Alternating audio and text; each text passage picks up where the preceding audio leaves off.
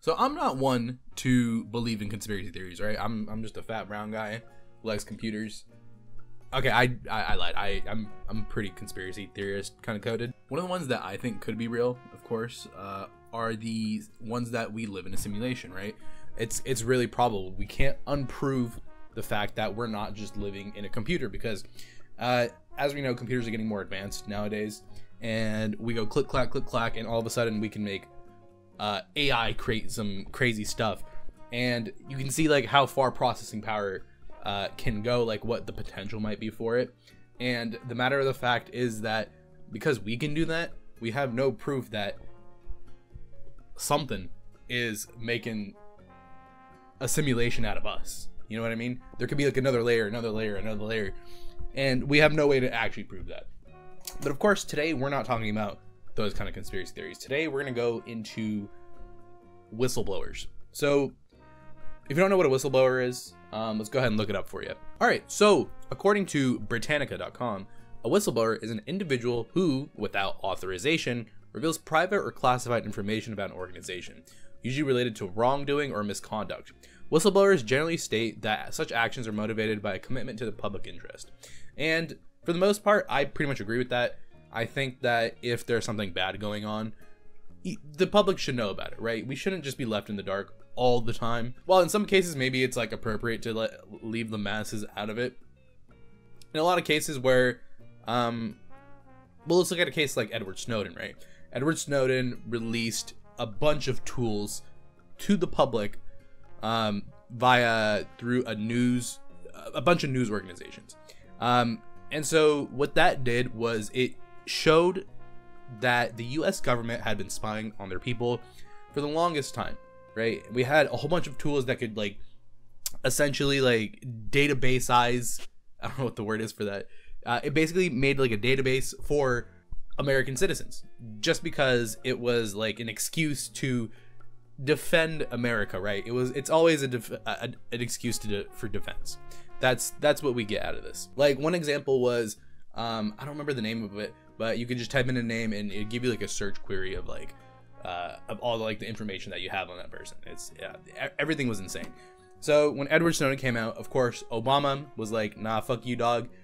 Slapped that shit, and he had to run away to Russia. And I believe he was in like Hong Kong first before actually going to Russia. But you know that's uh, besides the case. We can look at some other uh, types of whistleblowing. So one of them is Pentagon Papers, uh, where Daniel Eisenberg, an analyst at the Rand Corporation, leaked uh, a report commissioned by the U.S. military about the Vietnam War. Vietnam War, very bad war. We didn't, we did not do anything good there. Uh, in fact, there's still like effects of like Agent Orange going through kids and stuff. It, it's complete dog shit. Worst war we've ever been into. In fact, you know, there's other wars going on right now, but we won't talk about that for now. Uh, of course, there's Edward Snowden, as we talked about already, and another one was Chelsea Manning and um, the guy who led WikiLeaks, Julian Assange.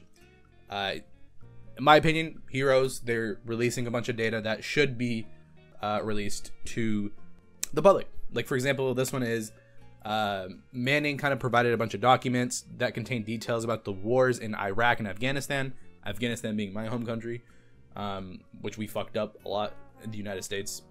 But um, one of the more notable disclosures was a graphic video of a U.S. Apache helicopter killing 12 civilians, including two Reuters journalists in 2007, which is pretty fucking insane. So I, I gotta say, like, you know, whistleblowers are really important.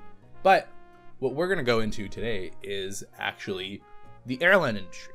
So you may have already heard about this already, but we're to go back to March 12th, which was two months ago. So John Barnett became a whistleblower and essentially kind of revealed that Boeing's factories had a bunch of problems about them, right? A prominent Boeing whistleblower, a former quality manager who raised concerns about manufacturing practices at the company's 787 Dreamliner factory, in South Carolina was found dead on Saturday with what appeared to be self-inflicted gunshot wound, according to officials. Which is like kind of weird. Why would he essentially like expose this thing and then suddenly die? So it's it's kind of crazy that this guy just kind of ends up dead, right? That's it, it's fucked up. Um, and what they said that it was a self-inflicted gunshot wound, but like you know, you know you know, you could angle that. You can angle it in certain ways. You don't have to like fucking do it yourself. You know?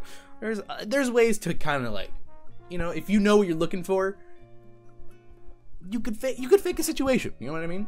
Even to like a trained eye.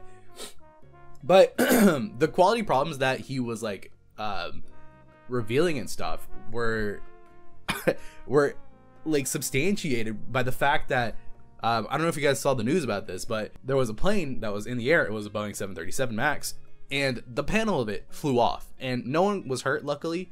But that's fucking scary. A plane, a panel off a plane should not be falling off nowadays. All right, and some people might chop it up to DEI, which is like, no, it's not that at all, dog. It's that these companies, these quality assurance companies, don't care. They they make their money they're like, okay, let's just let's fucking leave. We're done for the day. Bye. And they kind of just leave a bunch of these quality assurance problems in the planes, and then all of a sudden, it doesn't become a problem until it becomes a problem. And you don't want to be on that plane when it becomes a problem, right, guys? So, Mr. Barnett filed the complaint against Boeing with the U.S. Labor Department in 2017 under the A under the Air 21 Whistleblower Protection Program, which protects employees of plane manufacturers who report information pertaining to air carrier safety violations of the company that year. So he even went through like the official channels. He he did everything right, right? He he didn't like just go straight to public like Edward Snowden did, which this was like Obama's criticism. He was like for of Edward of Edward Snowden. It's like Snowden should have just came to the government. We have a program for that, essentially, but who knows if like we would have even gotten any of this data if they didn't drop this if he didn't drop this information to the public, right? So, uh, when Mr. Barnett, 62, did not show up on Saturday morning and did not answer his phone calls, uh, Mr. Turkewitz said he grew concerned and called the hotel. And then, after they called the hotel, he was found dead in his pickup truck in a hotel parking. All right after he reported on this, which is like a little bit sus. But you know, this was like a month and a half ago. Why are we talking about this? We go back to May 2nd, which was two days ago as of recording. Joshua Dean here a former quality auditor at Boeing supplier Spirit Aerosystems, who had flagged safety concerns and alleged misconduct by the aircraft manufacturer, died on Tuesday from a severe and sudden infection. So all of a sudden, these whistleblowers are just collapsing, especially in these airline industry ones. And this is amidst amidst like a bunch of like planes that are already like fucking going down and shit. Uh, you know, you're finding a whole bunch of loose screws on them where they're not supposed to be loose. You know, I, like I feel like I have a loose screw sometimes when I read uh, stuff like this. It's like, why are we why are we letting this happen, right? Here, I'll zoom in for you guys too. My bad about that. So Dean is the second Boeing-linked whistleblower to have died in the last two months, as the company has come under heightened scrutiny. It's like, why are these guys suddenly dying right after they whistleblow? Like, there's already a second one and that's it in the span of like less than two months, right? It's like I'm, uh, I'm, I'm, i try not to be a conspiracy theorist, but sometimes it, it, they just make it too easy. You know what I mean? It's just it's so easy to just try and connect these dots that are like right in front of your face. Like it's not even like something that you're far reaching, right? You know, there's this conspiracy theories like flat Earth, right? Like you have to reach so far to kind of prove flat Earth, and you're just like, okay, whatever, whatever the fuck you're on about. Like just just go on about your day. But when it comes to things like this, it, it's happening right in front of your face. Like the Jeffrey Epstein stuff. We but we all know. We all know, right? We all know he didn't. He didn't kill himself. Let's be. There were no cameras that day. All of a sudden, the guards were away. They were doing a whole bunch of random stuff. Okay, that's a whole other video for another time. But this Boeing one, these guys connected to Boeing, whistleblow. They both whistleblew, both of them. They had nothing else. They seemed perfectly fine before that. All of a sudden, severe death. And Dean's was like way worse, like way crazier too. Uh, the other guy like had just like you know he popped himself in the head sadly, and uh, you know I, he should still be alive. Let's say that right now. He should still be alive. Um, it's a guy who lost his life, and uh, it's it's fucked up. And but if we go to uh, Dean right here, um, it was it gosh so according to a series of public social media posts by dean's family he was in very critical condition he tested positive for influenza B and MRSA, a difficult to treat bacterial infection, and developed pneumonia. But we know we know influenza. We get like the vaccine for it like every year, but for some reason, like his influenza was paired with like a whole bunch of other stuff. He developed pneumonia on top of that, the uh, bacterial infection he suddenly got. So he was intubated and put on a dialysis machine as well as airlifted to another hospital to put an ECMO machine, a form of cardiac and respiratory life support. So he was having like trouble just living in general, right? so the CT scan also showed that he suffered a stroke too. So he just had this whole culmination of just a bunch of shit that kind of just put him out. And like, it's it's it's it's so much, right? You just look at it and you're like, what the freak? So I don't even want to read into more of it because it's it's pretty it's pretty fucked up. If you want to go look at it yourself, the time link is up there. so this is from Time Magazine itself. But yeah, let's go ahead and recap this, right? So whistleblowers, probably one of the best people in our country because a lot of things that they do is reveal information to the public that wouldn't necessarily be revealed otherwise. And that's a really important thing because, like, say going back to Edward Snowden again, before he leaked all that stuff, talking about like how the government was spying on you and stuff, that was all labeled like a conspiracy theory because no one had any proof that was happening.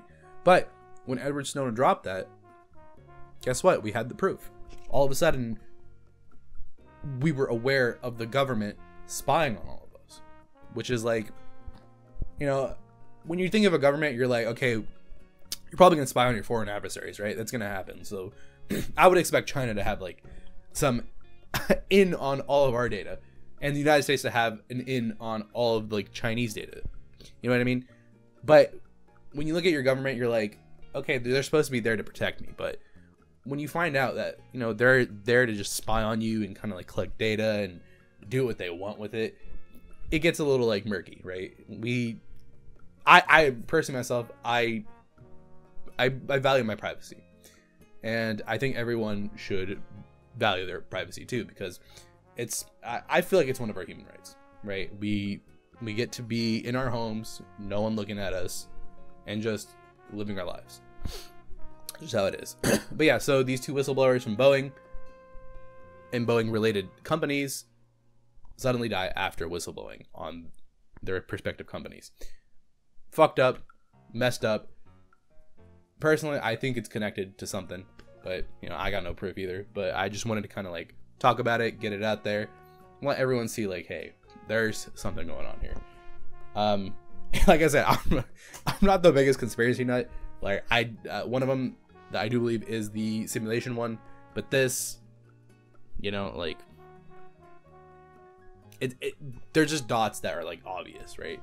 Where like if you don't if you don't look at the if you don't look at them and then connect them together, it's kind of like okay, well, are you looking at all? you know what I mean?